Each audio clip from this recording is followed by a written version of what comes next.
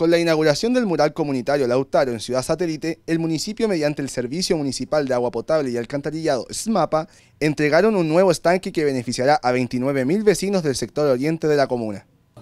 Aquí estamos inaugurando una modernísima planta de producción de agua potable que va a cumplir fundamentalmente la función de generar mayor suministro de agua para la ciudad satélite y para el sector de Santana Echena, mayor regulación, mejor expresión, un agua de calidad, así que estamos muy contentos con la comunidad con la puesta en marcha de este nuevo estanque.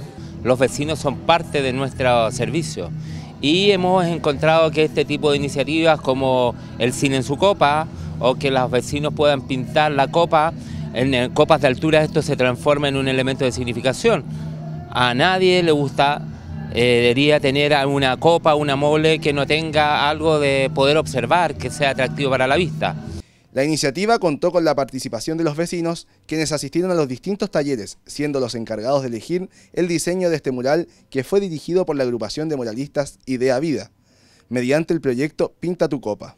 La verdad es que el diseño fue em, generado por nosotros, pero a través de las temáticas que la gente nos dio. La gente, en este caso, la gente de la Junta de Vecinos, eh, los muchachos de las escuelas de arte.